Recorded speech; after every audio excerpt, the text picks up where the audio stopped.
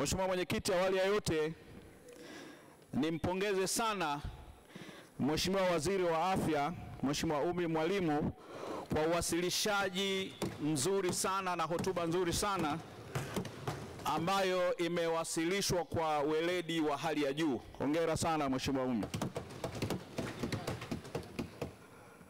Mheshimiwa Mwenyekiti, nianze kabisa kwa kusema kwamba naunga mkono hoja hii asilimia mia moja. Mheshimiwa Mwenyekiti, kwa niaba ya wananchi wa jimbo la Bukene, kwa dhati kabisa moyo wangu niipongeze serikali ya awamu ya tano chini ya rais wetu Mheshimiwa Dr. John Pombe Magufuli kwa kuhakikisha kwamba jimbo langu la Bukene kwa mara ya kwanza linapata eh, huduma ya upasuaji kwa vituo viwili vya afya, huduma ambayo imekuwa ikisubiriwa kwa muda mrefu sana.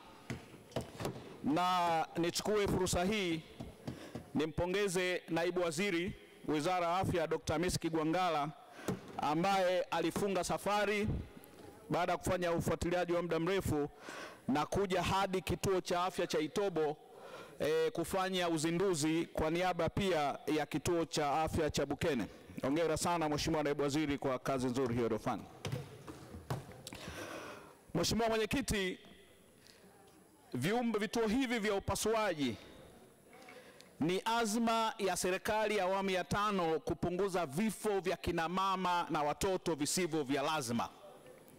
Na kabla ya vituo hivi e, wakina mama waliokuwa wakihitaji huduma za upasuaji katika jimbo la Bukene walikuwa wakilazimika kusafiri zaidi ya kilomita 80 kutoka maeneo mengine hadi hospitali ya wilaya ili kupata huduma hii, lakini sasa huduma hii imesogezwa karibu sana, na niseme tu kwamba e, katika muda wa hii miezi miwili ambao upasuaji umeanza, e, mwitikio ni mzuri sana na tumeweza kufanya operesheni ya kutosha na kuokoa maisha ya kina mama na watoto wa ndani ya jimbo la Bukene.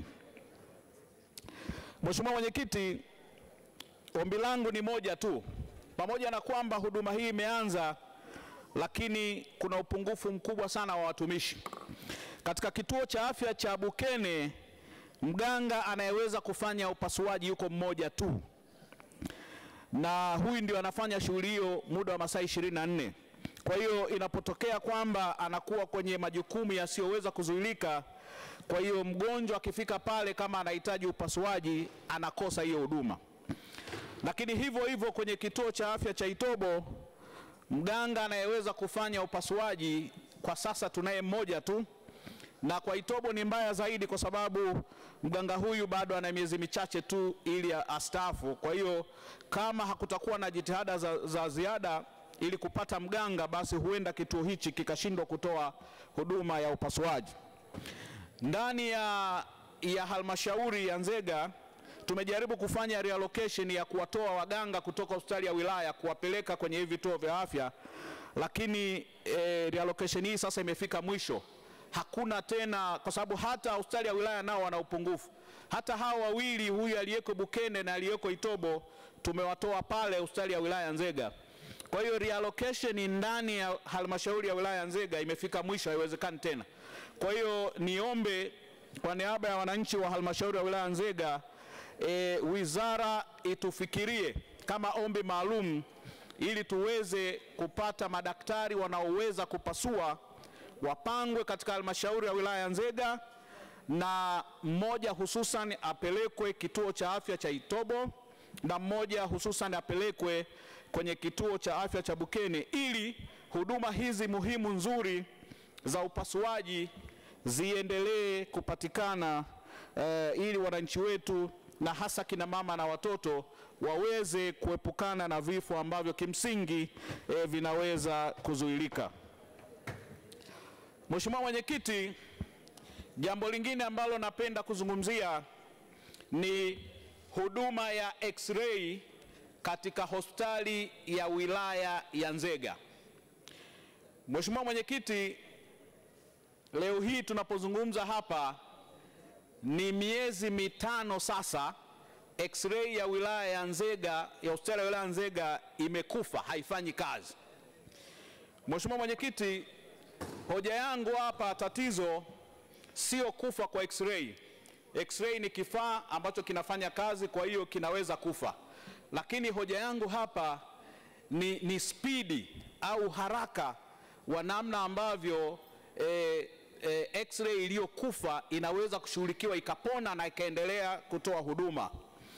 Mheshimiwa Mwenyekiti, x-ray ya hospitali ya wilaya Nzega imekufa tangu tarehe kumi na tatu Desemba mwaka jana, na baada ya kufa tu mkurugenzi wa halmashauri ya Nzega aliandika barua kwa katibu mkuu wa wizara ili wizara waiengage kampuni ambayo ina mkataba wa kutengeneza hizi x-ray za Philips ili iweze kuja Nzega na, na kutengeneza.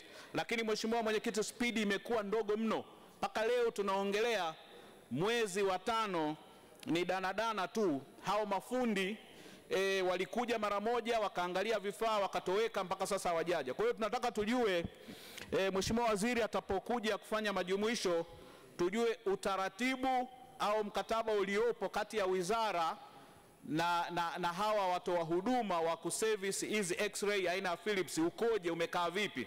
Kwa sababu kama utaratibu ni mbaya, basi tupendekeze kwamba hospitali e, za wilaya zenyewe zitafute mafundi au service provider wenye uwezo ili e, e, waweze kutengeneza x-ray, kwa sababu Mheshimiwa Mwenyekiti, ni jambo ambalo halikubaliki x-ray kukaa miezi mitano imekufa na wagonjwa wanakwenda pale wanakosa huduma.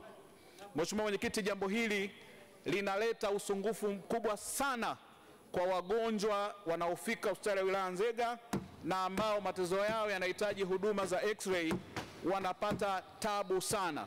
Kwa hiyo niombe kabisa kwamba Mheshimiwa Waziri anapokuja kutoa e, majumuisho atoe ufumbuzi kwamba x-ray ya, ya hospitali ya wilaya Nzega ambayo miezi mitano sasa imekufa e, ni lini itaweza kushughulikiwa ili wananchi waweze kupata huduma hiyo muhimu. Lakini lingine, Mheshimiwa Mwenyekiti, nizungumzie e, upatikanaji wa dawa katika bohari kuu ya madawa MSD. Kwanza niipongeze serikali kwa dhati kabisa kwa kutenga hela nyingi za kutosha kununua madawa. Hili kwa kweli ni jambo la kupongezwa, haijawahi kutokea kiwango cha bajeti kilichokwenda kwenye madawa mwaka huu ukilinganisha na miaka ya nyuma. Lakini hoja hapa ni, ni sasa madawa yapatikane, kwa sababu eh, kupatikana kwa fedha za kununua madawa ni jambo moja, lakini kupatikana kwa madawa pia ni jambo lingine, kwa sababu Mheshimiwa Mwenyekiti, utaona kwamba fedha za madawa ambazo zinapelekwa kwenye akaunti za vituo vya afya au zahanati kule MSD. Kwa hiyo unakuta vituo vya afya au zahanati vikiomba dawa MSD, kunakuwa na out of stock nyingi sana. Kwa mfano, nitatoa mfano wa halmashauri ya, ya wilaya ya Nzega. E, taarifa za tarehe 28 mwezi uliopita, ukijumlisha vituo vya afya na zahanati zote, tuliomba dawa za milioni 126 lakini tukapata dawa za milioni 24 tu ambayo ni kama asilimia ishirini tu. Kwa hiyo utakuta kwamba na sasa hivi tuna balance kubwa sana karibu milioni e, mia tano na tatu balance ya fedha za madawa ambazo ziko MSD, lakini ukiomba madawa sasa e, upatikanaji wa madawa unakuwa mdogo. Kwa hiyo kwa hiyo e, upatikanaji wa fedha uendane sambamba na upatikanaji wa madawa. Mheshimiwa Mwenyekiti, naunga mkono hoja asilimia mia moja na Wizara ya Afya wanafanya kazi nzuri sana. Asante sana. Asante sana.